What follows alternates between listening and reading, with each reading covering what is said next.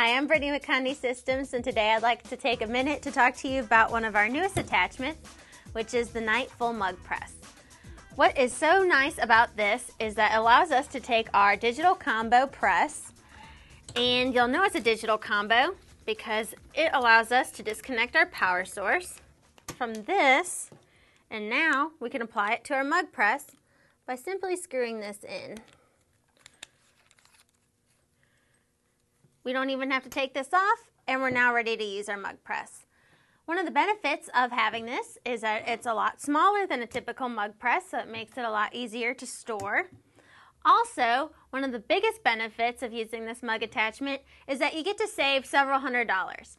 Instead of buying a huge mug press, you're able just to purchase the accessory, and now we have more use of our original press, and it allows us to expand our product line.